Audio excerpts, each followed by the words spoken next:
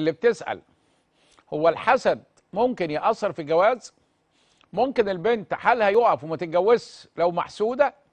ويعني إيه الحسد؟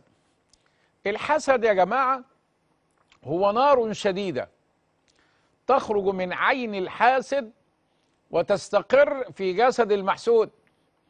الحاسد والعياذ بالله في ناس عينيها مدورة ومقورة بتطلع أشعة تحت حمراء. أو أشعة فوق بنفسجية وتصيب بها خلق الله سبحانه وتعالى. وسيدنا النبي قال لنا في الحديث الصحيح العين حق.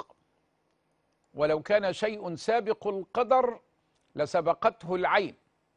وإن العين لتدخل الرجل القبر. سلم يا رب.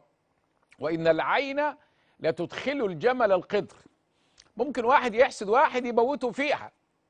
بقدر الله سبحانه وتعالى. طب نعمل إيه؟ لازم نحصن أنفسنا.